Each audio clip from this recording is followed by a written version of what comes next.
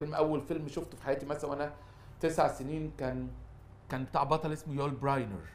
كان اسمه تراس بولبا. كان فيلم بقى حصينة ومش حياة وبتاع.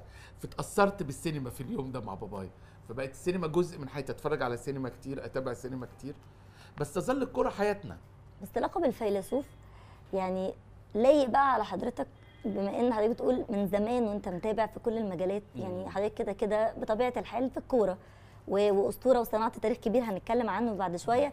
لكن كمان إن حضرتك تبقى متداخل في الفن وفي في الفن بكل أشكاله سواء تمثيل أو غنى وعلاقاتك الفنية الكبيرة وده اللي إحنا بنشوفه دايما حتى في ال- بنسمعه. دايما في البرنامج في الراديو. فلقب الفيلسوف ده بيضايق حضرتك ولا لأ؟ واصلا بدايته كانت منين؟ لأ بدايته كان كانت زمايلي. لأن كان زمايلي يجيبوا ميكي وسمير وانت تجيبي حاجة قصة مثلا. وحاجة ك- في فتيجي تتكلمي تتكلمي بأسلوب مختلف المفردات الكلام. فابتدت تطلع من الفرقة زودها قوي الكابتن يعني خد باله منها. سيادة المشير طنطاوي الله يرحمه من ضمن الناس اللي قا- قالوها ده اللعيب ده فيلسوف هو كان زملكاوي.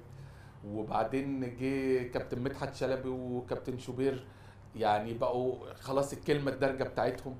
ولحد ما جه كمان سيف زاهر. فهي كانت منتشرة في الوسط إن أنت بتجيدي فن الحوار. عندك background مقبول جدا إن أنت تتكلمي في كل جوانب الحياة. بشكل مختلف. فاهمة قوي الكورة بمعناها بالرياضة بمعناها. حاولت والله أبقى متطرف زي الناس دول ما عرفتش. أنا شايف ال- الكورة مكان رياضي أخلاقي جميل. بنستمتع بيه بالمنافسة.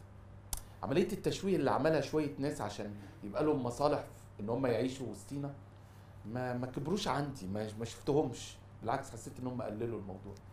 بعتز بلقب الفيلسوف وأبويا كان بيتقال عليه فيلسوف فأنا كمان لما اتقال عليا فيلسوف الموضوع ما ضايقنيش خالص.